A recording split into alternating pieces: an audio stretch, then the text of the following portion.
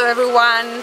So today it's finally the day where I show you how you can have a shower in the Kangoo. This is one of the questions that I get asked more often so I thought I would make a video on it. So what I use to have a shower is a 30 litre tank which now is just half full but it should be enough for a shower and a 12V portable shower. This um, plugs in on the cigar socket of your car and it has a little pump that you put inside your tank and a shower head. So today, um, in the middle of nowhere, there's not gonna be anybody really passing by, I don't think anyway, but when I am in places where I think people might see me or I want some privacy, I have some curtains that I'm gonna show you now. So those are the shower curtains that I use to have some privacy on the back. They look massive, but really they're just, they go very, very tiny when you fold them. And those are just shower curtains from Ikea. Uh, so they have um, Velcro on the sides so that I can attach to the carpet on the back. And I've also made some holes on the bottom so that I can put some, um, how do you call those? The things that you put on the tent to keep it on the soil. But yeah, I'm gonna show you how I fit them.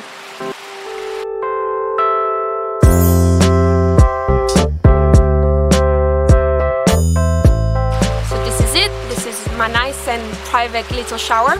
I left a little aperture here so you can see me, but you can usually what I do is that I put uh, some pegs here to keep it close so people can see inside. So today is not very windy, but usually in Scotland it's very windy. So uh, what I do is that I put those things on the soil so that the curtain is nice and attached and it won't move. Because the last thing you want is that a blow wind comes by and you're taking a shower and then everybody can see everything, right?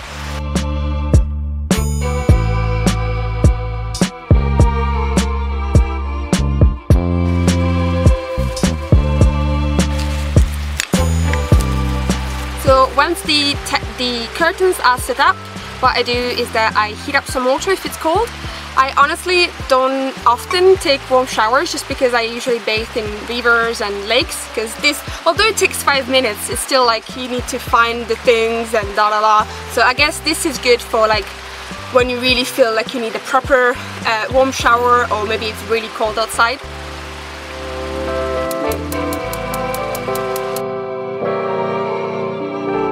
So the water is warming up and of course you always want to put a lid on it to save on some gas and I'd say there's about a liter and a half, two liters which should make my tank water lukewarm. While the water warms up I prepare the uh, shower head so I just plugged it in on the cigar socket of the car and then you'll want to put the pump inside whichever water container you are using.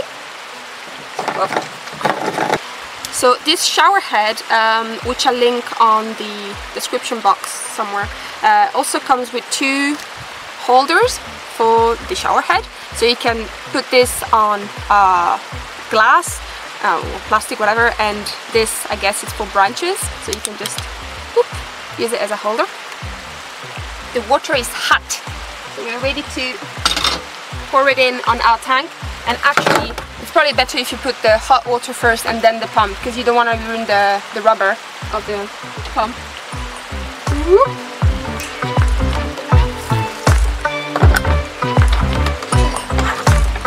And that is it, you're ready to shower.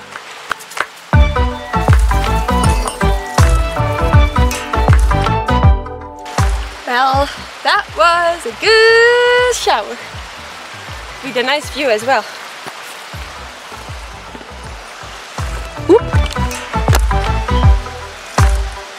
So for this shower, I think I've used around uh, 10 liters. Um, when you live in a van, you learn how to shower very, very fast. But yeah, this is my way to keep clean, especially in summer months or where it's warm. Uh, in winter months, of course you could still do it, but there are other ways, uh, warmer ways to have a shower and I think I will have, uh, I will make another video on that.